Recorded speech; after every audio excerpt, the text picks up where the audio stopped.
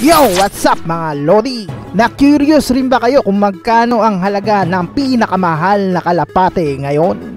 Isang dalawang taong gulang na Belgian Racing Pigeon na tinatawag na New Kim ay nakapag-set ng record na most expensive pigeon in the world sa ngayon. Ang halaga nito ay umabot ng 1.89 million US dollars sa isang naging auction ayon sa online auction house. Ang kalapating ito ay umabot sa 1.32 million euros.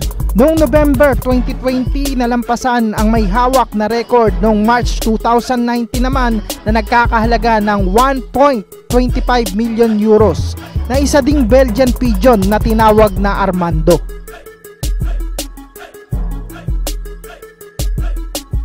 Ayon kay Nicolas Jesulbert, CEO founder ng PIPA ay hindi siya makapaniwala sa record na naging presyuhan. Dahil ayon sa kanya na ang kalapate ay babae at ang katunggali niya namang Armando ay lalaki. Dahil kadalasan ay mas mahal ang presyo ng lalaki kaysa sa babae. Dahil ito rin ang dahilan para makapag-produce ng mas maraming inakay na may magagandang lahi. At nasabi rin ni Jesselbert na si New Kim ay dadalawang taong gulang pa lamang. At noong 2018 pa lang ito nakipagkarera. Kaya naman nakuha din ito ang titulo bilang pinakabatang kalapate sa Belgium. Kung kaya ito rin ay maagang nakapagretiro. Ang mga kalapate ay tipikal na nagbi-breed hanggang 10 taong gulang. Kung kaya si New Kim ay marami pang taon na makakagawa ng inakay. At alam nyo ba mga Lodi na nagsimula ang bidding sa halagang 200 euros lamang. Pero tumaas ang bidding hanggang 1.31 million euros mula sa African Group sa loob lamang ng siyam na minuto.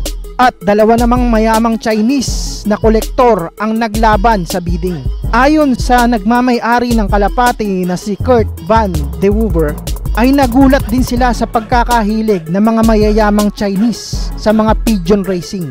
Kaya lalong mas tumataas ang presyo ng mga kalapate.